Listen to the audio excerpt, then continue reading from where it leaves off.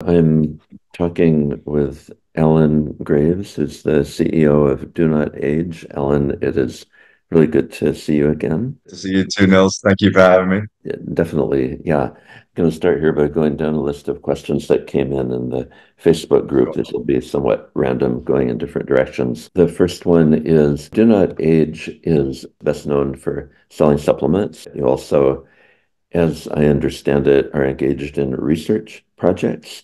And I was wondering if you could tell me more about your research.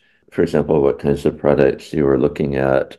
Are the studies being done on animals or humans? Are there plans to submit the results for publication and anything else that you'd like to focus on there? Sure thing. So, yeah, we are a health research organization, uh, which essentially means that we use the revenues that we produce to put back into research, be that through our own research or supporting other people's research, sometimes with ingredients, sometimes with money, sometimes with both. And we do both human and animal studies. Uh, human trials obviously take a lot longer, so we, we can't expect fast results. But the SIRT6 mouse trial publication uh, was supposed to happen at the end of last year, and it has been delayed. So it's now going to be published in uh, the journal in 2024. However, the results are already in, and we've emailed those out to our members. Mm uh, everything that we're allowed to discuss and we're allowed to talk about is written about in our emails. So if people make sure they're reading the emails, that's the the best and the fastest way to find mm. out. Mm-hmm. Well, can you tell us which journal you expect that to be published in? I can't because it's not confirmed yet, so I don't want to okay. build any hopes up. Got it. Good enough. Does Do Not Age have any new supplements on the horizon?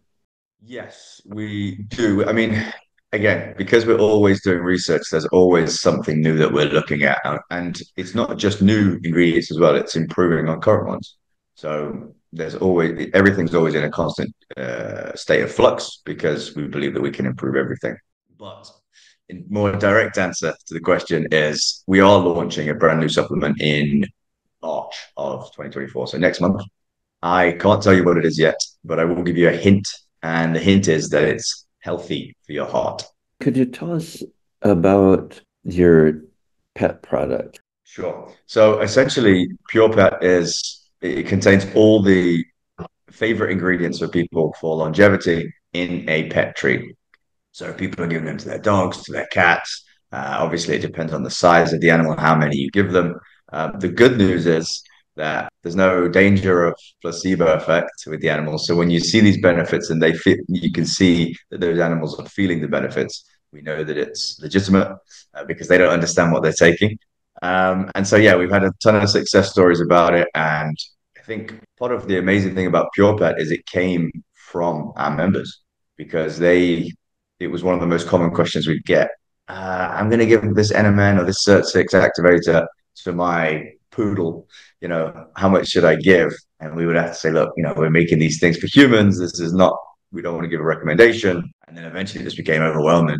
And so we said, okay, well, let's let's create something that is uh, specifically for pets. For people who are giving those to their pets, what recommendations would you have in terms of what you were just talking about, like the the size of the animal, the number of treats that they're given? Yeah, that's right. So the animals we basically group them into four different sizings. So we've got small, medium, large, and extra large. Uh, and uh, you know, if we're talking about dogs, for example, you're looking at a Chihuahua would be a small dog, uh, and then a medium sized. I'm not very good with dog breeds. Uh, a medium sized dog would probably be double the size of that, uh, and then you know, a large dog might be a Mastiff or something along those lines. And then if you have a a Great Dane that could be an XL. Um, on the side of the packaging, it's actually split out by kilograms as well, just to make it a little bit easier for people. Mm-hmm. So the weight of your pet. Mm-hmm. So, do all cats kind of fit in the same category? All adult cats? I mean, most house cats would do. Most house cats would do, yeah. Can you talk at all about, about what you have heard from people giving their pets those products? Like what effects people have been seeing? I think the mood of the animal, people tend to know the, the mood their animal is in. Um, and, and, you know, especially once they get to a certain age, that mood tends to dip. so the mood improves. Uh, and then a lot of the other bits are very similar to what we see in humans more energy, better sleep, mm-hmm. um, healthier gut, you know, uh, digestion is the polite way to say it. Do you have any recommendations for people who travel and want to take the supplements with them? Is there, for example, a way that you handle that? I know that you do a lot of traveling in your own work. Yes, yeah, I usually do a lot of traveling, but um, it depends how long you're traveling for. So if I'm traveling for a few days, I can use a pill organizer. But if it's a two week vacation or if I'm going for a long business trip, then I just take them all with me because, you know, although space is at a premium, it's all about priorities. Three people in the group had asked for more information about SIRT6 activator. So what might be the possible benefits of activating the SIRT2 gene? Okay, so I'll, I'll start talking about the trial, the mouse trial that's already concluded. As I said, has been emailed out, but Professor Gorbunova and her team basically concluded that SIRT6 activator does reverse aging. So obviously, it's quite an important trial. Um, the mice taking SIRT6 activator were far healthier in all metrics. and they lived health. Uh, they lived a healthier, longer life, and using inflammatory markers, we saw that the SIRT6 activated group had significantly lower inflammation than the control group. So, what other benefits does the SIRT6 gene have? I mean, it promotes DNA repair, it protects the telomeres. I'm sure all of the people in your uh, Facebook group are fully aware of telomeres and their role. It supports genomic stability and, of course, reduces inflammation, we now know.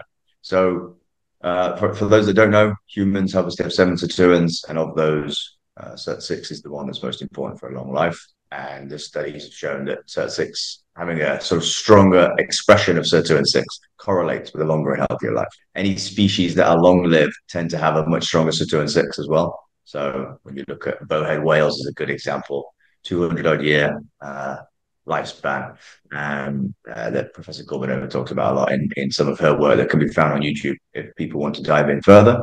Um, there are studies as well that show adding extra copies of SIRT6 in mice extends their lifespan. It can help to avoid mutations in your cells, uh, helps to maintain chromatin organization. And basically, that just means that the correct genes are expressed and turned on and off, and then the correct ones are also silenced. Uh, again, reduces inflammation, uh, people report getting sick less.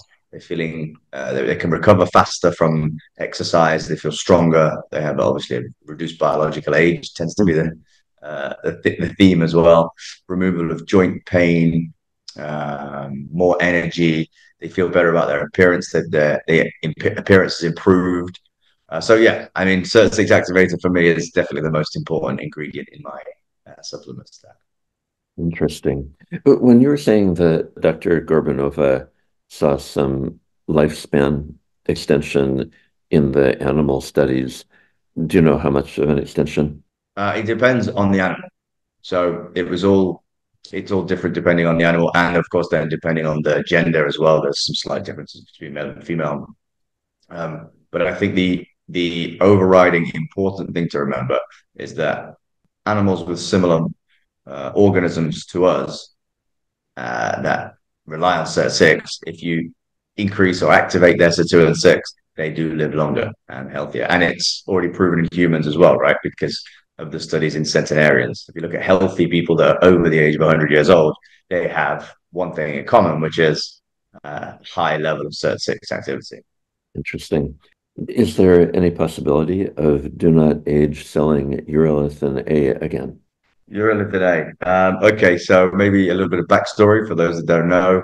We produced the urolithin A product, and ingredient. It was proved to be very successful within a few days of us um, putting it out to people at a very reasonable cost.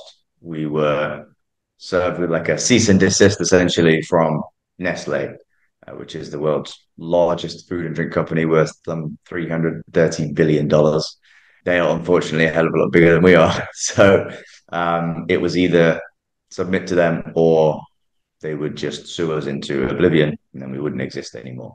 And so that's why people can't get urolithin A right now. However, not one to lie down. We are working on something right now there is going to be a way. There are patents that we can purchase, not from Nestle, different patents that will give us access to something that is even more beneficial than just direct urolithin A. Of course, research is not fast, and you know, as such, we can only go as fast as our R and D.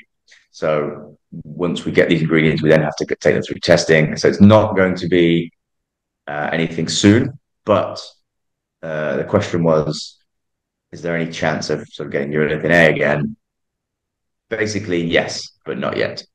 For those taking glycine and NAC, which Do Not Age puts together in one supplement, we had some questions about the dose and timing. For example, one person asked, is it better to take glycine and NAC at night or in the morning? Are there any concerns about it disrupting sleep, or does the glycine in it help with sleep? I mean, people are welcome to take things whenever they want, but most people do take it during the day. I think, as with most supplements, taking it every day is going to be more important than precisely what time you take it at. But yes, glycine does have benefits for sleep.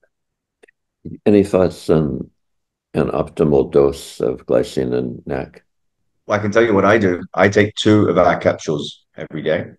Uh, I know that a lot of people take four, and I don't know if that's a mixture of because they want a higher dose or because it's one of the lower priced, you know, it's the lower cost ingredient. Um, and so a lot of people sort of double up on those lower cost ingredients. Um, but for me personally, I take two every day. Some people take a product called NACET, N-acetyl ethyl ester, which is a variation on NAC. Would Do Not Age consider selling an NACET supplement in the future? Well, that's quite remarkable, actually, because it's something that we are currently testing. So we don't normally speak about the things that we're testing because we do so many and obviously most of them fail. Um, but yeah, that is something that's in testing at the moment to see if we can improve that product. So uh, if it proves to be as good as we think, then we may well uh, see it being used within you know six months or so. Interesting. That almost sounds like a rigged question, though. the way I asked. Oh, is there any possibility? Well, if any, if anybody wants to check, I'm sure you. I'm assuming you posted this in the group, the Facebook group itself, right? Uh, yeah. Yeah. Yeah. yeah so if anybody wants to check, they can go and have a look at the post and see all the all the responses. Interesting. Yeah. Yeah. The question about NACET, there was someone who had been mentioning in the group actually for over a year, I think, that they were taking it. They had taken the NACET rather than the NAC, and we're hoping that you guys might do something with that. So it's very interesting synchronicity. Okay, so um, should do not age supplements be taken along with food or just with water in your estimation? Yeah, I guess each one is different, but there are instructions on the bottle as well as instructions that can come with the order. Um, I think the best thing to say is probably if anybody has any specific questions, because not everybody takes the same uh, different ingredients. I think anybody with any specific questions can just email hello at donotage.org. Just write down everything you're taking, and then one of the team there can will respond with the best practices as to how and when to take things. Do you have any recommendations in terms of the supplements sold by Do Not Age in regard to per body weight dosing? In other words, should a person who weighs 110 or 120 take the same dose of Do Not Age supplements as someone who weighs 180 or 185 thereabouts?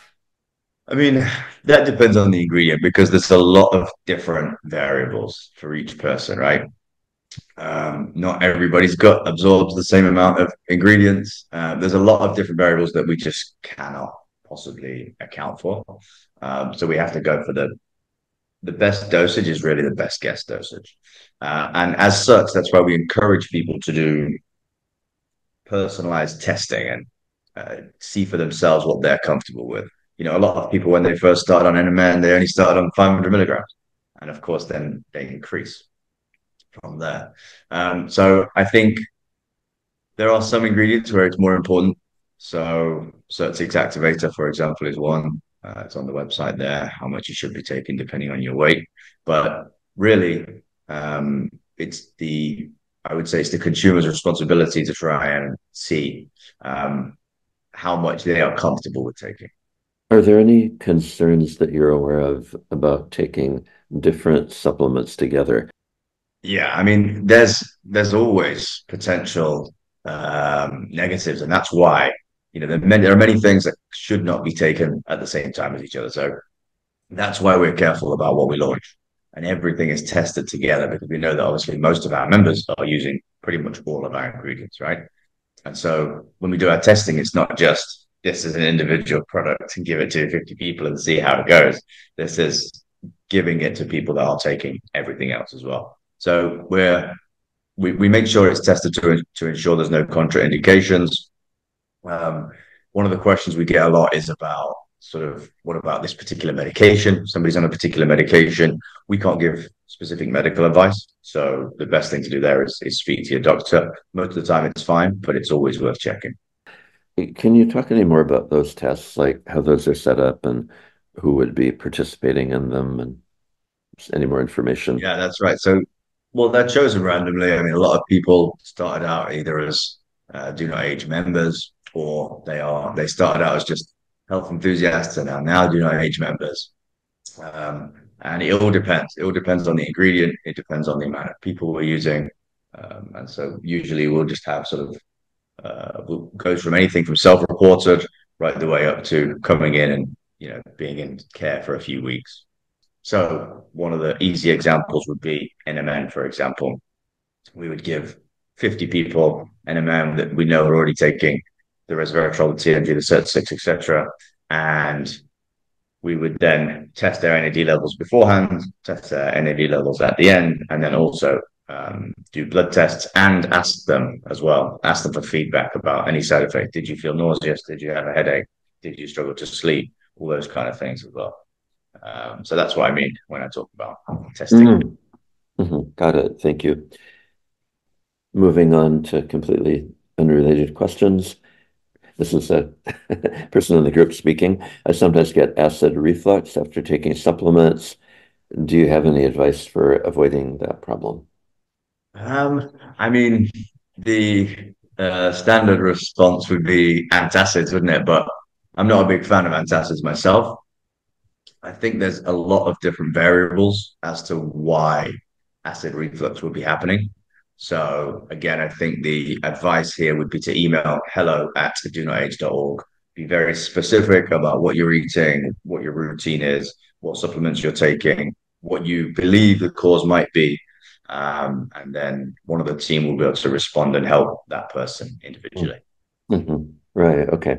And then I'd probably throw in there that acid reflux may just be something incidental. It might be a medical issue. And then obviously, if it's a medical issue, that'd be one to um, possibly take up with a, a doctor. So, um, yeah. okay. So, moving on here. Oh, are Do Not Age's facilities and products GMP compliant? Yes, of course. That's the that's the very bare minimum that people should expect. Have Do Not Age's products been tested for lead or mercury levels? If so, can you publish the certificates of analysis on the website? I saw one for NMN, but not for the other products. Yeah, so I mean, everything's tested at multiple times throughout the production process, and of course, once completed. But a lot of it is done first party, so it's done in house. Um, but we do also have third party tests for everything as well. So uh, they're not all posted online because there's a lot of ingredients like berberine is one example. You know, it's it's already such a low cost to produce it that it's very rarely uh, faked or people rarely cut corners with the actual ingredient. Um, the reason it's done on NMN and displayed on NMN is because it's very commonly faked by people. There's a lot of NMN online, NMN online. Um, that's not real, and so that's why those are more prominent. Would you consider offering a complete kit for longevity, which contains the ingredients in all of your supplements in one container, maybe in a little baggie, so people could just pop open the container, take out that baggie, and take all of them at once? I like the idea. Uh, I think the I think the container would probably be too large, but um, I mean we're, we're actually working on something to, for towards the end of 2024 that will make things a little bit easier. Uh, so again, I guess the advice there is keep your eye on your emails. Um, but I think in in its current form, if if you think about you know the, the average do not age member with 12 to 13 containers already, putting all that into one container is going to be a pretty big container. Mm-hmm. Um, so yeah, we're, we're having we're trying to find ways of consolidating that without compromising on the ultimately the beneficial effects on people's health. Are there new over-the-counter analogs of NMN that which would presumably be other ways of boosting NAD that Do Not Age is working on supplying for the future? Yes, we like to, and we are exploring other NAD boosters.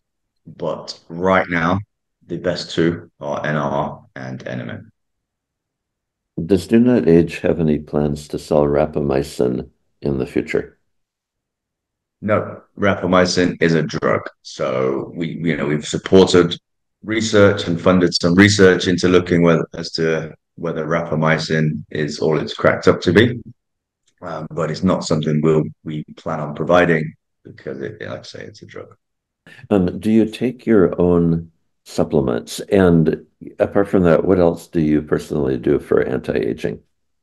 Yeah, of course. Um, I mean, I I take them all. So my biomarker my biomarkers right now are going to be extremely sort of skewed as to what they normally would be um, because I'm used to traveling a lot and I haven't traveled in the last two months or so.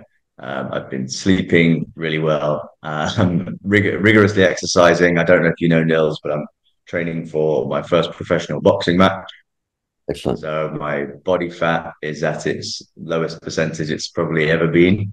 Um, uh, so at the moment, things are a little bit different. I'm still taking the supplements, obviously, some of them even a little bit more. Uh, the collagen, the creatine, and the NMN I've increased as well.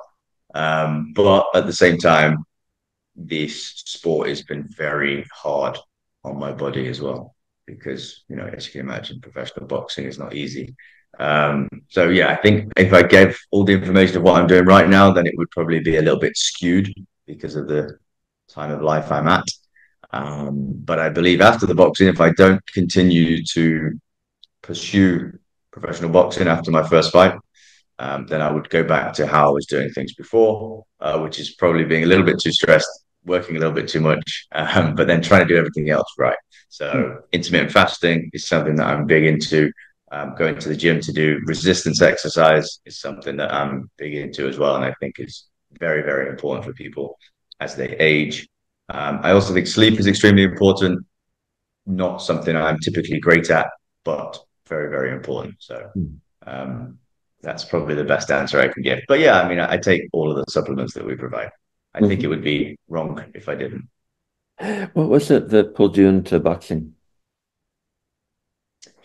I I've always loved boxing. Always, always, always loved boxing. Um, it's been a sport that I've followed and watched my entire life. Um, and then I realized circa six months ago that I always kind of thought in the back of my mind, I'm good enough to do it professionally. And then six months ago, I realized if I'm going to do it, then now is probably the time. So, uh, yeah, I take myself to the Middle East. Um, I live with my boxing training team, um, and yeah, we've we've been working very hard night and day. Interesting. I had no idea.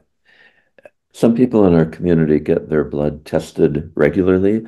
Are there blood tests that you would recommend people take to verify the effects on their biomarkers of taking supplements?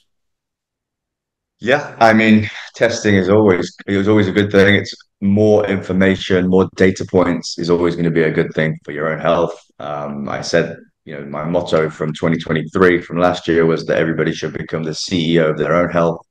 Um, and I think testing is a really important way to do that. Um, I think those that do want to get a sort of really specific handle on their measurements, Um, they're the ones that tend to do the testing. But I must say that most people, you know, most of our members still don't do regular testing at least. Um, we have a new, I don't know if we've spoken about this before, Nils. When did we last speak? Maybe six months ago. Uh, we have a new omega 3 vitamin D test kit that shows those markers. So, very, very important markers, and they're very commonly low in the modern world as well. So, if people can grab that. I think it's $99, or something along those hmm. lines. Do you get your own blood tested? I'm assuming you do from what you just said. And what changes have you noticed? Um, well, these days things are a bit more stable. So, like my NAD level stays healthy. But of course, when I first did it, it wasn't healthy. Um, and the same thing can be said for omega 3 and vitamin D as well.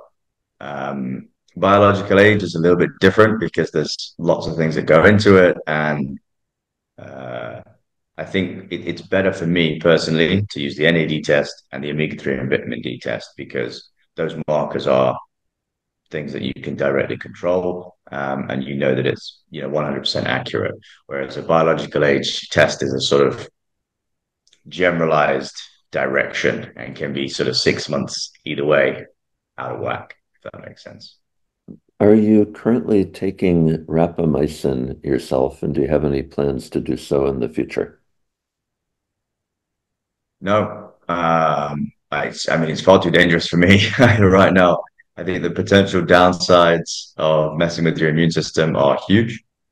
Um, but as I said earlier, we're, we're financially supporting more studies into rapamycin to see if it can be safely administered, and if it can be, then that's a great thing.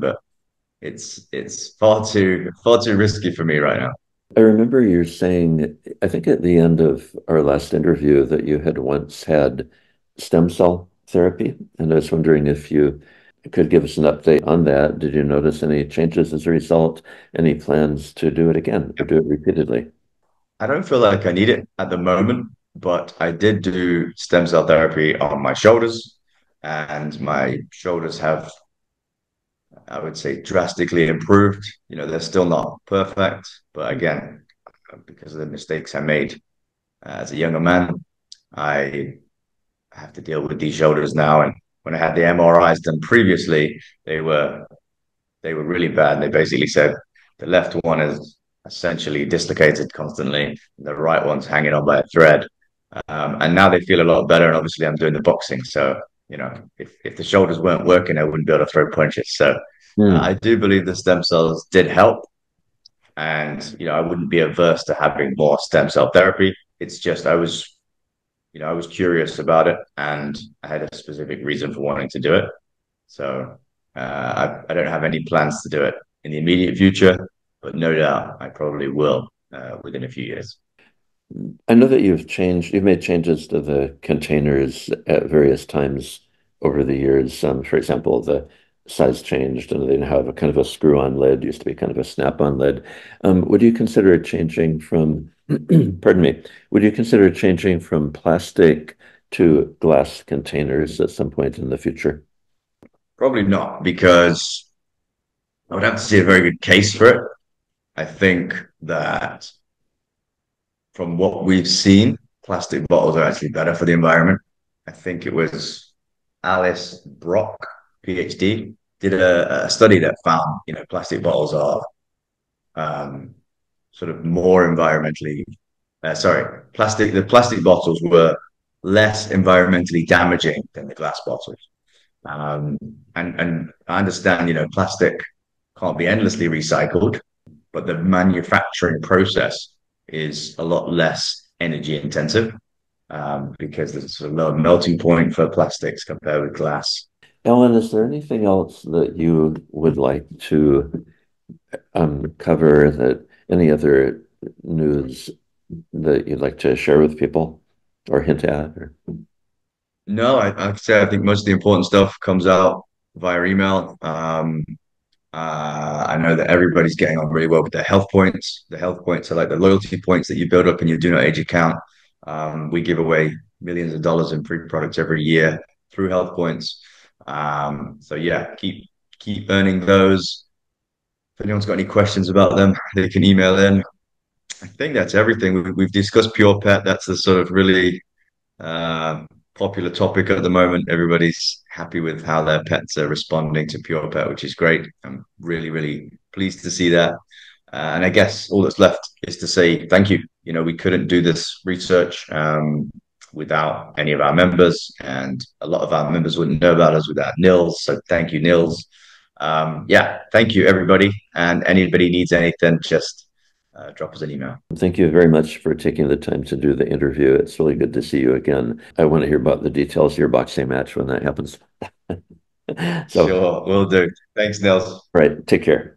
This video is sponsored by Do Not Age for a 10% discount on all of the products and services on their website. Use the discount code PATHWAYS, being sure to type it in all caps. Thank you for watching. I'll look forward to seeing you in the next video.